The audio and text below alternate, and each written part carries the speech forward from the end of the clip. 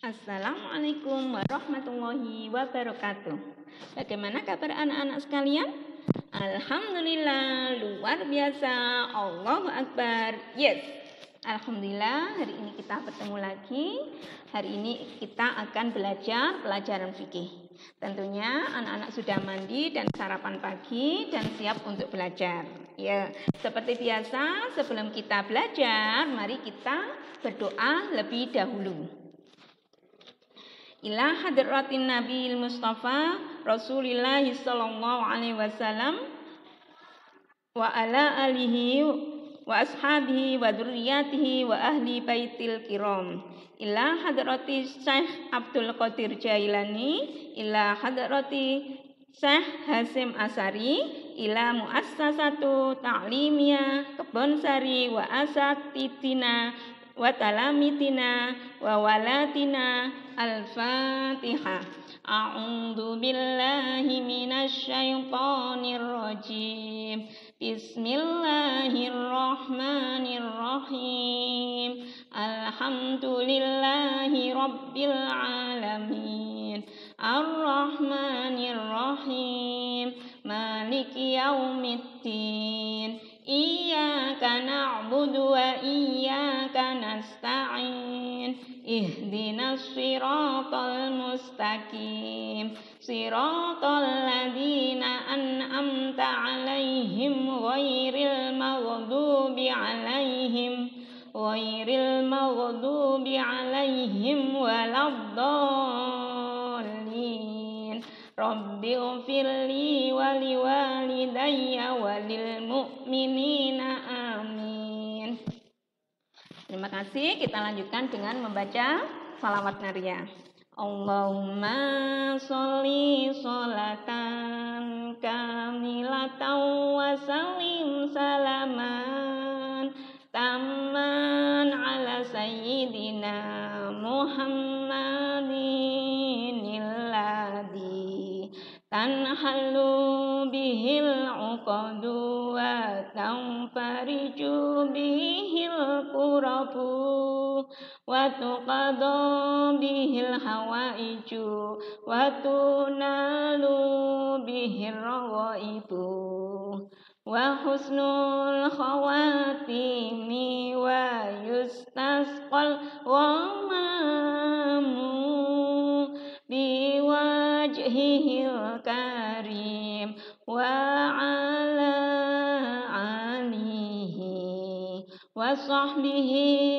fi kulli lamhatin wa nafasin wa nafasin bi'adadi kulli ma'lumillah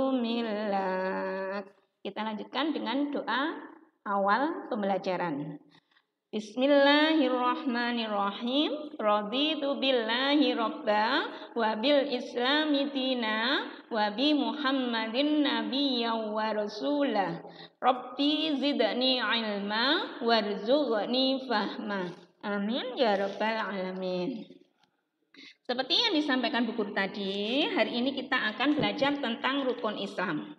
Nanti diharapkan setelah pembelajaran ini selesai, anak-anak bisa menyebutkan kelima rukun Islam, kemudian urutan rukun Islam yang pertama, kedua, dan yang ketiga. Untuk yang keempat dan kelima kita bahas pada pertemuan yang akan datang ya. Oke, ya. Bu Guru ingin mengingatkan kepada kalian semua, rukun Islam ada berapa? Ya, sini Bu Guru punya rangkuman untuk pertemuan yang kemarin, yaitu rukun Islam itu ada lima. Yang pertama, mengucap dua kalimat syahadat, kemudian mendirikan sholat lima waktu, yang ketiga menunaikan zakat, keempat puasa di bulan Ramadan dan yang kelima menunaikan haji bagi yang mampu. Seperti yang disampaikan Bu Guru tadi, hari ini kita hanya belajar tiga rukun Islam saja, yaitu yang pertama, kedua, dan yang ketiga. Baik, mari kita mulai belajar, yaitu rukun Islam yang pertama. Apa bunyi dari rukun Islam yang pertama? Pintar, mengucap dua kalimat syahadat. Masih ingatkah kalian bagaimana bunyi kalimat syahadatain? Iya, pintar. Yuk kita baca bersama. Bismillahirrahmanirrahim. Ashhadu an la ilaha illallah wa ashhadu anna Muhammadar Rasulullah. Artinya saya bersaksi bahwa tidak ada Tuhan selain Allah dan saya bersaksi bahwa Nabi Muhammad itu adalah utusan Allah. Jadi rukun Islam yang pertama yaitu mengucapkan dua kalimat syahadat yang berbunyi asyhadu alla ilaha illallah wa asyhadu anna muhammadar rasulullah. Untuk urutan yang kedua di dalam rukun Islam yaitu mendirikan sholat lima waktu. Sholat apa saja kak itu? Ya, pinter. Ada sholat subuh, sholat duhur, sholat asar, sholat maghrib, dan sholat isya. Masing-masing rokaatnya untuk sholat subuh adalah dua rokaat. Untuk sholat duhur ada empat rokaat. Untuk sholat asar ada empat rokaat. Untuk sholat maghrib tiga rokaat. Dan selanjutnya adalah sholat isya ada empat rokaat. Jadi yang mempunyai empat rokaat di dalam sholat lima waktu yaitu sholat apa saja? Pinter, sholat duhur, asar, dan isya. Adapun sholat yang paling sedikit rokaatnya yaitu sholat apa?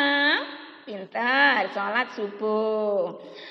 Rokaat yang ganjil ada pada sholat maghrib yaitu tiga rokaat.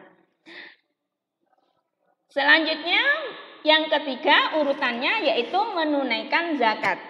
Ya, zakat itu ada zakat fitrah dan zakat mal.